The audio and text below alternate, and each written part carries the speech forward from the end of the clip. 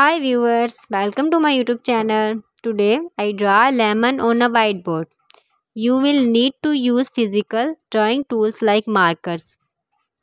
Material needed whiteboard, whiteboard marker, ma whiteboard eraser. Start by drawing an oval shape to a center to the whiteboard with a yellow marker, red marker or a black marker. This oval will be a, to a main body to a lemon.